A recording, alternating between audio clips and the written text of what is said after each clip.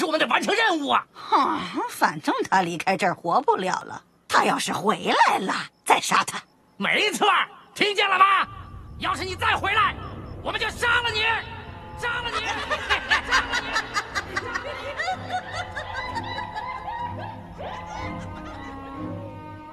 你！布法沙的死是场可怕的悲剧，但是辛巴那么小年纪就业，对我而言损失的实在太多了。